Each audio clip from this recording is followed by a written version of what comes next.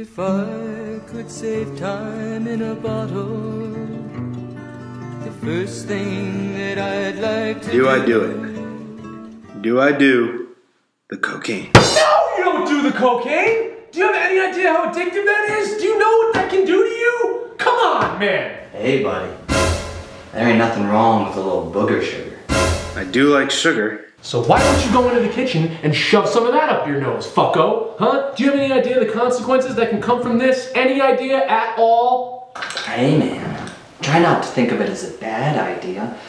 Think about it as the absence of any better ideas. That makes zero fucking sense. Logic is toxic, baby. No, no, he's right. I mean, what would my mother think if she was here watching me right now? That's right. Think about your mother, bitch. Huh?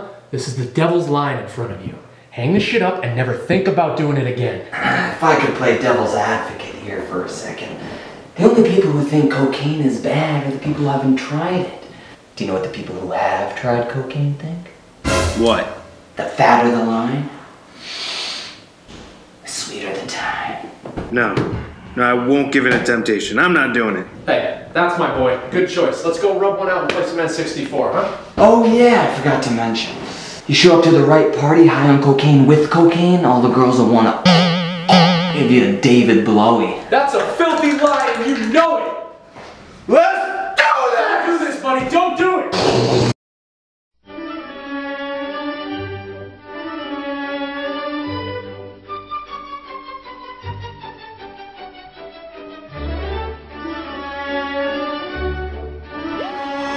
So as I drove high on cocaine with my two thoughts and a nice warm vibrating feeling all through my gully butts, it came to me suddenly, this feeling of want, no, need for more cocaine. So we stopped and we got more. A lot more. Uh, are you sure that's enough? Not even close. But it will do.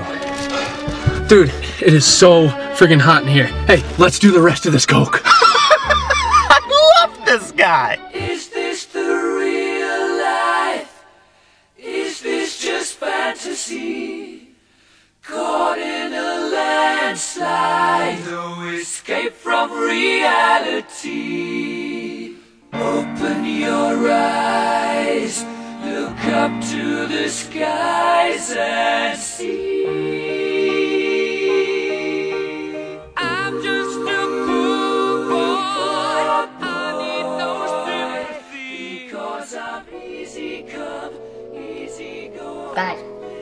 My mouth is really numb. Like, really numb. You guys get that? You feel that? It's supposed to feel that way. You know, this cocaine is making me really hungry.